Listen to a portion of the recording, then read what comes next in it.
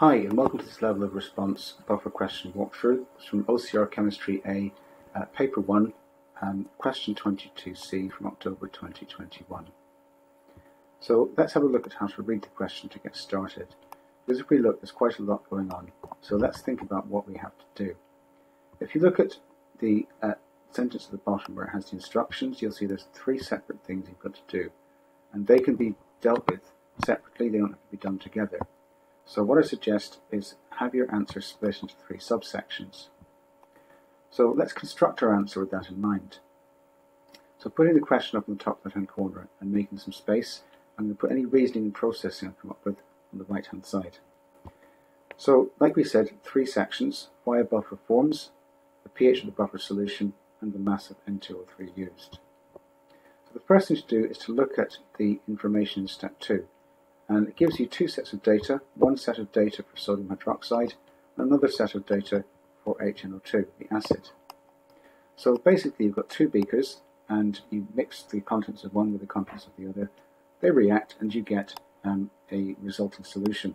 And it tells you that the resulting solution is made up to one decimeter cubed, hence the bigger beaker.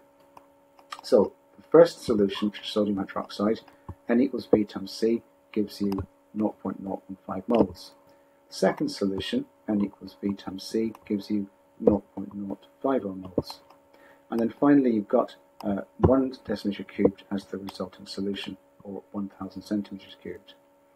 So using this information here, we can now work out what's actually going to happen when these two quantities are reacted. So the first thing to do is to construct an equation. You can see that they're equimolar, the sodium hydroxide and the acid.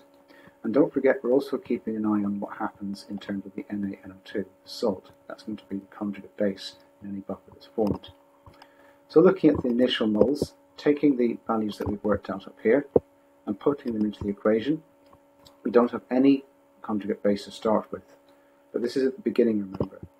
So the reactants are used up, so we have um, 8 NaOH is the limiting reagent. There's a lower number of moles of NaOH than there is of HNO2.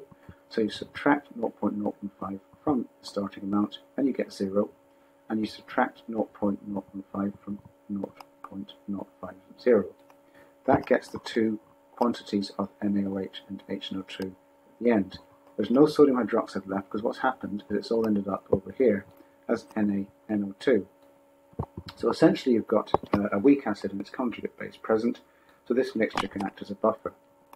The next stage is to have a look at the, um, the pH of the buffer solution formed. Now it gives you the pKa value of 3.34 and obviously remembering the general buffer calculation, uh, the expression, we put in the concentration terms for the acid and the conjugate base.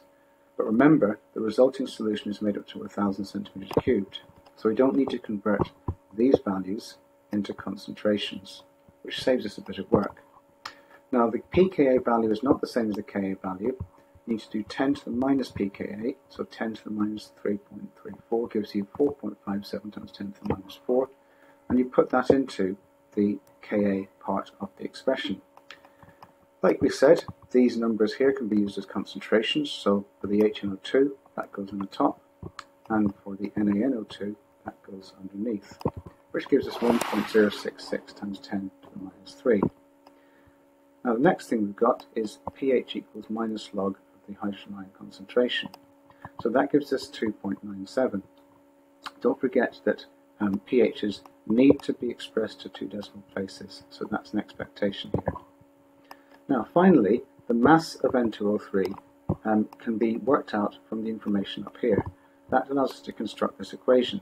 Now clearly, the number of nitrogens on the left and the number of nitrogens on the right do not match, so therefore we have to double the HNO2 on the right. So we know that the HNO2 is 0.05 moles, so that must mean you've got 0.025 moles of N2O3. So a simple rearrangement of moles equals mass over MR allows us to, cut, to multiply 0.025 moles times 76 grams per mole to make 1.9 grams of N2O3. Okay, as always, thanks for listening. Until next time, see you soon.